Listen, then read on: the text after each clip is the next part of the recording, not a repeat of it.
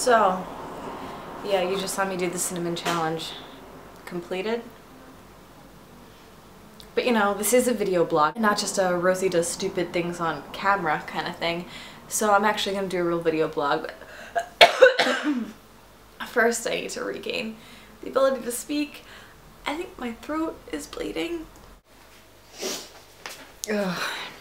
I made tea in an effort to stop the burning in my esophagus, but then I drank the tea before I should have and it was hot and I burned my tongue as well as my esophagus and I, last time I ever skipped videos and let you guys give me a challenge.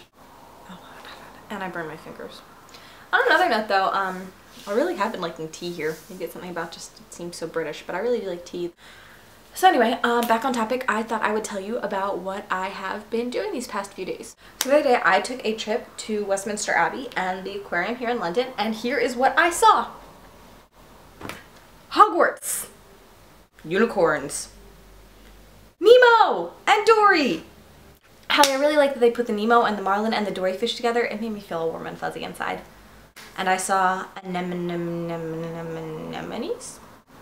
and a purple cow and I saw a guide of what exactly to do when you see a penguin. I saw some very good advice. I saw an Easter Island head. Dum dum give me gum gum. What else did I see? Dum dum. Da dum.